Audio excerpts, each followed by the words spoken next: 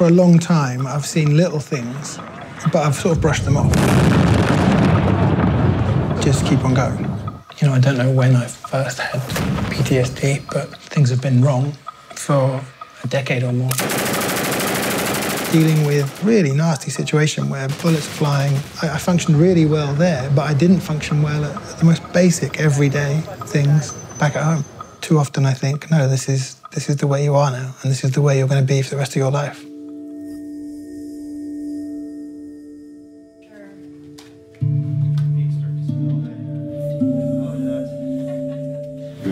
Ready for your? Sure.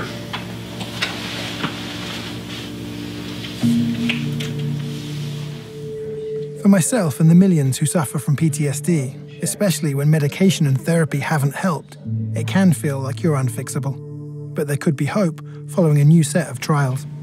Ed Thompson developed PTSD as a fireman. He participated in the first phase of trials for MDMA assisted psychotherapy. Patients do three sessions that last up to eight hours each. This is your first medicated treatment session. Correct. This is the beginning of some interesting revelations on this video. And are you feeling completely conscious and you're in control and Yeah, and I felt like I was able to relax even when I was talking through probably my most traumatic memories. I don't think I had seen a dead person until then. The first one was gruesome too. And I just shrugged it off at the time. And I think I was hurting myself every time I talked about that stuff. Yeah, it's a different experience when you're really processing it. How's the This medical way community instead. only just now coming to this? Thank you for what you're doing. It was like being able to take a big breath, you know, uh, after being stuck underwater for a long time. Before the treatment, Ed was dependent on prescription drugs and alcohol and suicidal. It, it was terrible. There were nights where I remember just checking to make sure he had a pulse, and then I would go to bed. So, what did you think when someone said, There's this MDMA therapy, this could be the thing that helps you? I was terrified. I was like, this isn't going to help you. I was like, great, another thing for him to be hooked on and for him to try to kill himself with because he can't deal with what's going on in his head. And it completely changed his life. A majority of other patients had similar results, including two veterans we spoke with. Within 60 days of coming back from Iraq, I put a loaded Beretta to my temple and pulled the trigger. Without the study, I'd probably be dead right now. I know the taste of a pistol in my mouth. You sit there and you go, this, if, if I can end this right now, is it worth it? My house was foreclosed on. There were times when I had no income, went into abandoned buildings, pulled out copper so I could buy ramen noodles. I never really thought that I'd be doing anything other than living in a van down by the river. And you thought that was it for you? That's what I'm going to do. That's the height of my existence is getting high every day, getting drunk every day, and doing that until my life expires. Therapy hadn't worked. Not at all. Prescription drugs I've been hadn't through worked. all of it. Uh, they threw every pill imaginable at me. At one point, I was on 42 pills a day between physical and mental injuries. At that point, I would try anything, even something as crazy as ecstasy. I'm here to say that there is new hope for the treatment of trauma. This hope is coming from a psychedelic drug called MDMA. One of MDMA's earliest proponents was Dr. Rick Doblin. His work has been hugely beneficial to veterans and first responders, forcing even the Pentagon to take note. I'm a draft resistor. I was prepared to go to jail instead of going to Vietnam. But now, all these years later, we're being invited into the Pentagon to talk to them about MDMA therapy for veterans. Rick founded the nonprofit MAPS, the Multidisciplinary Association for Psychedelic Studies, back in 1986, a year after the Reagan administration made the drug illegal. We knew about therapeutic use of MDMA from the middle 70s, and just think about how many suicides would have been prevented, how much suffering would have been prevented. It's a national crisis, and in a crisis, people are willing to look at things that they weren't otherwise willing to look at. After 42 years, Rick has almost succeeded. In phase two of the MAP study, 68% of participants no longer qualified for PTSD. There's a major change taking place now in the attitudes, and it's because they're desperate, because the VA has tried everything else. And there's a shifting around the whole concept of prohibition. We have the legalization of marijuana here in Massachusetts, so that's why I'm not hiding my bong. Even under Trump and Sessions, the FDA was not scared to say this is a breakthrough therapy. Even Fox News is open to the idea because helping veterans may be one of the few non-partisan issues left. But I think there is definitely a genuine interest in trying to do the best for our men and women that serve. I think that there was a group of psychotherapists who were really, really angry mm. when a valuable tool was taken from them. And I can't remember the guy who's in charge, Dubrin, I think, or Dubler, I can't think of the guy's name, but he's been pioneering all of this. and, uh, they didn't once mention MDMA and therapy. They no, seem they, to have missed the entire point. Did you ever think you'd be doing a pro ecstasy segment on Fox News? No. we spoke to one vet who says he experienced lasting impacts and a whole new way of thinking after just one session. I just went from being anxious to feeling completely relaxed. Things happened and people were dead, and my way of not accepting it was role playing in my mind about other scenarios on how okay, if I would have done this and been there, then maybe something could have changed. One of the realizations that I had was I put myself in their shoes. There's no way if I was to die over there, I'd want someone suffering the rest of their life.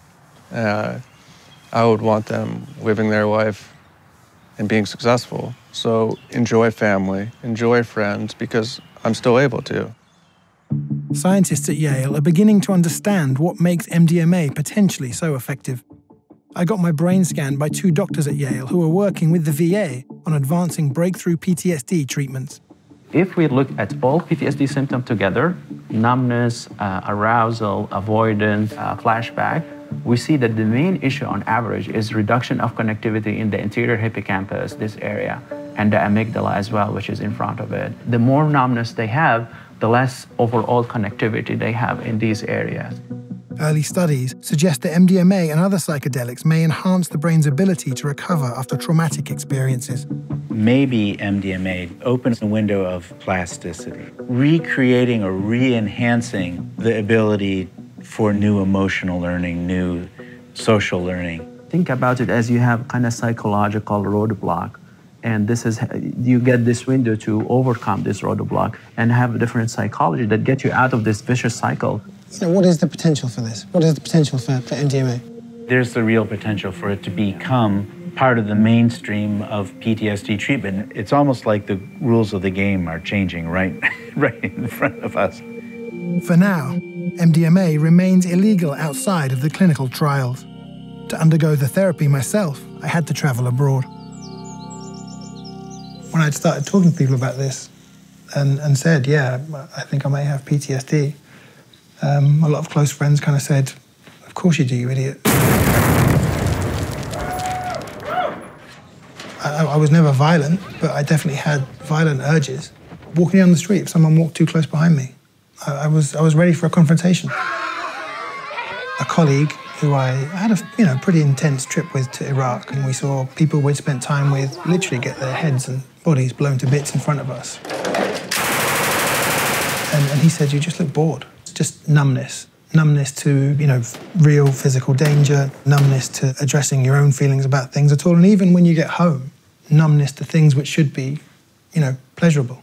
As soon as you start thinking slightly about what impact it could have on you and how you might be suffering in some way, you just just block it out straight away.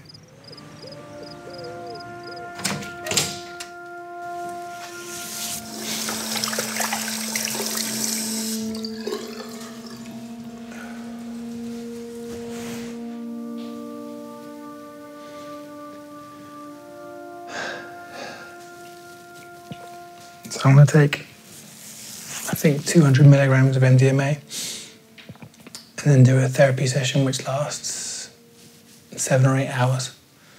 You know, I think I might think about things or talk about things or face things that I haven't thought about or talked about or faced really ever.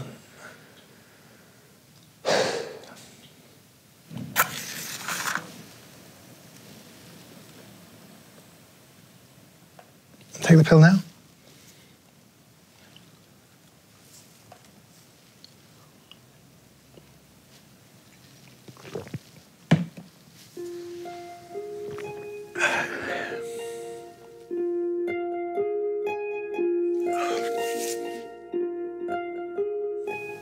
How long has it been?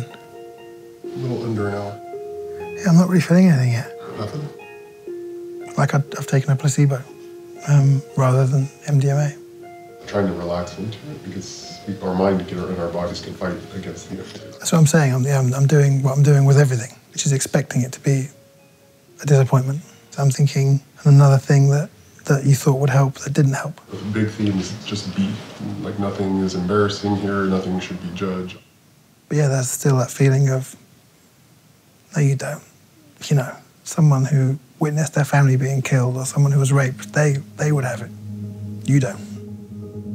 What right have you got to feel sorry for yourself or think you need help or think you have a condition? Be the thought of allowing yourself to have some healing, even if it's a little. Yeah.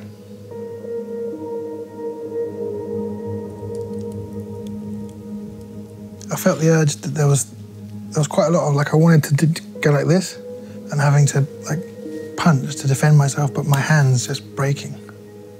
You know, just shattering. Huh. I've had that. Which you're even holding your hands kind of. Yeah. Kind of clenched with.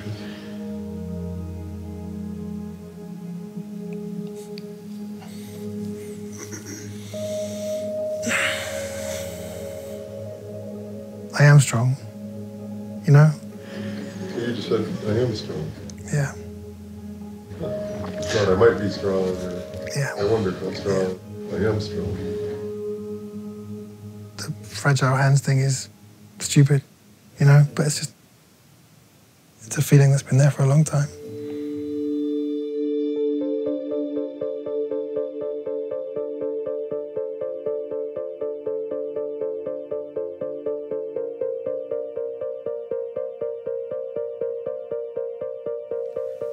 I thought a lot before about the veteran Tony. He'd lost some friends in Iraq. Mm. Spent all the time since then wondering if he could have done something to save their lives. It was almost like he was talking to his friends, and they just and they just said, "What are you doing? Like, you know, we want you to have a happy, good, pleasurable, fulfilled life." And and the the phrase that kept on coming up before was just permission. Mm. That really resonated. But I just thought I want to focus on giving yourself permission to, you know, to really give and receive love. Mm. Why is, you know, that, that blocked? I could feel the MDMA taking effect earlier than you did. And I got the sense that you were fighting it. I was.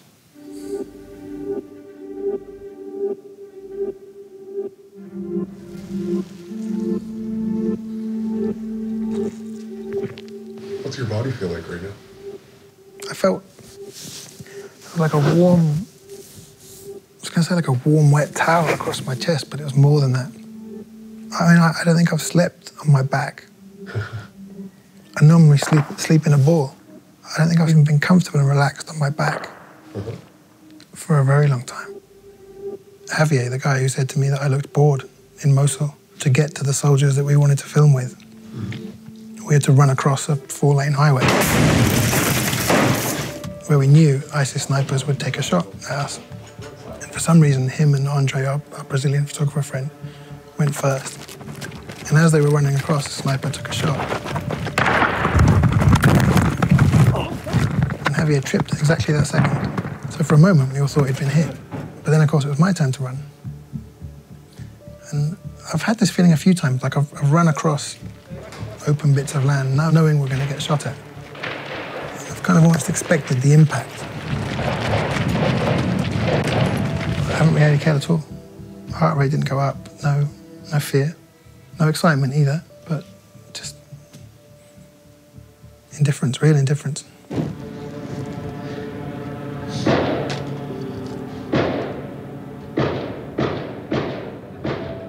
There are loads of people who have had much worse experiences than me that would really benefit from this treatment. But that doesn't mean I shouldn't benefit from it too, you know, I mean, there would be a very long line if you had to wait for everyone who'd had it worse than you.